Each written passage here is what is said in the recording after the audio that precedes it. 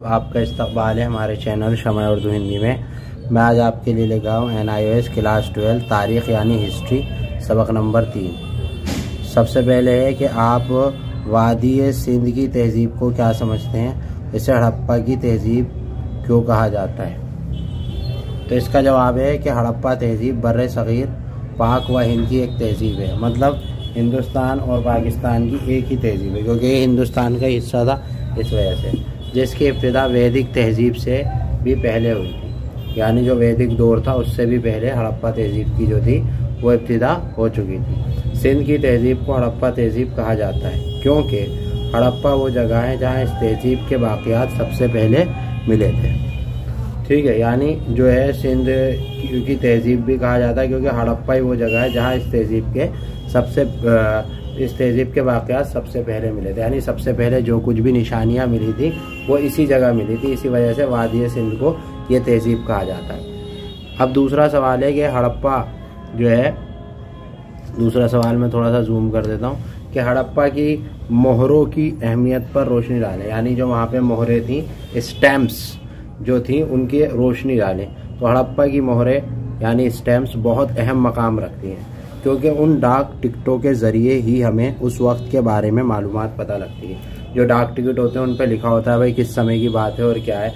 तो उससे हमें जो है ये पता लगता है कि ये किस समय की बात है। ठीक है? इसके अलावा उस वक्त के समाजी, माशी और तारीख के बारे में मालूम इन डाक के ज़रिए ही दस्तियाब है। यानी हमें इसी के ज़रिए पता लगता है कि उस वक्त जो है हड़प्पा के दौर में समाज के लोग कैसे थे, कैसे रहते थे, क्या खाते थे, क्या पीते थे और उनके रहने सहने का स्टाइल क्या था, माशी अंदाज क्या था मतलब क्या बिज़नेस था, क्या कारोबार करते थे और तारीख के बारे में मतलब रस्म व रिवाज क्या थे उस ज़माने के। ये सारी मालूम हमें जो है उस ज़माने की मोहरों से पता लगती हैं, उस ज़माने की स्टैम्प्स जो हैं वो हमें ये जानकारी देती हैं। तीसरा सवाल है कि हड़प्पा के लोग किसकी इबादत करते थे? मतलब जो वो वर्शिप करते थे, पूजा करते थे, वो किस चीज़ की करते थे? तो ये जो है बहुत ही इम्पोर्टेंट सवाल है। ये सारे इम्पोर्टेंट है, क्योंकि मैंने वही इम्पोर्टेंट सवाल की वीडियोस बनाई हैं जो कि पेपर में आ सकती हैं। ठीक है? तो इनको आप बिल्कुल रट लीजिए, दिमाग में बैठा लीजिए, समझ लीजिए। हड़प्पा की खुदाई में कोई मंदिर या कोई इबादत गाह नहीं मिली। जब हड़प्पा की खुदाई हुई तो ना तो वहाँ कोई मंदिर मिला, ना कोई इबादत गाह और ना ही कोई इबादत का सामान। कोई ऐसा सामान भी नहीं मिला जो कि इबादत के तौर पर जिसे पूजा जाए। ठीक है? जिसकी बुनियाद पर कुछ भी यकीन के साथ कहा जा सकता है। मतलब ऐसी कोई चीज़ नहीं मिली जो पता लगे कि उस वक्त के लोग क्या इबादत करते। यानी हड़प्पा की मजहबी ज़िंदगी के बारे में मालूम का वाद ज़रिया मोहन जुदाड़ो हड़प्पा से मिलने वाले मुजस्मे और मोहरे। मुजस्मे यानी जो उस टाइम पे पपिड होती थी, उस टाइम पे जो मुजस्मे थे वही जो है हड़प्पा और मोहनजोदाड़ो में मिलने वाले उनसे ही पता लगता है कि उस ज़माने में लोग किस चीज़ की बात बाकी तो कोई सामान नहीं मिलता, ना मंदिर है, ना कोई और सी इबादत गाह है और ना कोई सामान है ऐसा जिसकी बुनियाद पे कहा जा सके। इनको देखकर अंदाज़ा लगाया जा सकता है कि हड़क्का के लोग पूजा करते थे। देवी, विशुपति, शिव और गंगा, इनकी जो है वो क्या करते थे? पूजा किया करते थे। तो आपके जो यार सवाल समझ में आ गया। अगला सवाल है जो कि इम्पोर्टेंट है हर लिहाज से कि तहज़ीब, हड़प्पा तहज़ीब के शहर, तामीराती निज़ाम के बारे में बताया मतलब वहाँ का जो तामीराती निज़ाम था, वहाँ पे जो बिल्डिंगें थी वो किस तरह से थी? कैसी बनी हुई थी? पक्की थी, कच्ची थी?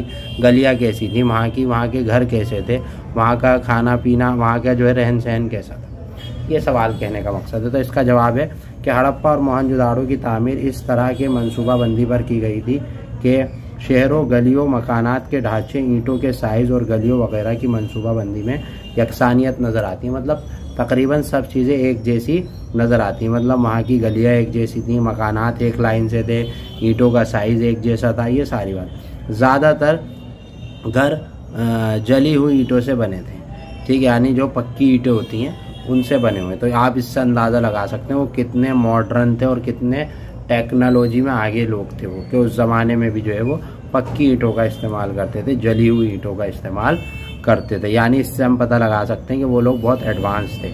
इसके अलावा मोहनजोदाड़ो का बहुत बड़ा हम्माम, ख़ास तौर पर काबिल ज़िक्र है। वहाँ पे जो है बहुत बड़ा हम्माम भी देखने को मिला है, जो कि काबिल ज़िक्र है। रात को रोशनी का निज़ाम था। रात को रोशनी का निज़ाम था, जैसे हमारे इलाकों में लाइटें जलती रहती हैं, ऐसी उस ज़माने में भी जो है रोशनी का इंतज़ाम था। तो इससे बिल्कुल ज़ाहिर बात है कि वो लोग बहुत ज़्यादा एडवांस हो चुके थे।